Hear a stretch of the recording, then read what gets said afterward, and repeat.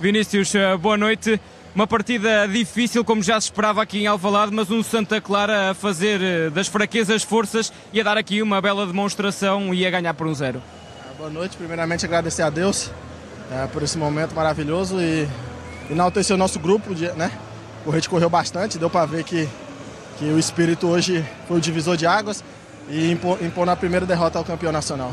Vinícius, eh, perguntar-lhe um bocadinho ali pelo momento do gol, porque é uma bola que acaba por sobrar do Mateus Pereira para si. Naquele momento, apesar de ainda estar um pouco longe, só viu baliza, como se costuma dizer. Não, sim, sim, a gente foi feliz. Acho que o Matheus fez uma bela jogada. Acabei sendo mais rápido que o zagueiro e já cheguei finalizando e fui bem feliz no lance. Uma exibição em que passaram muito tempo também no, no momento defensivo. Vinham preparados para isso? Aquele esquema do 5-4-1 que muitas vezes montaram foi algo trabalhado esta semana? Sim, sim. A semana toda a gente trabalhou, sabia que ia ser um jogo difícil, que a gente ia ter que jogar muito sem bola, como realmente aconteceu.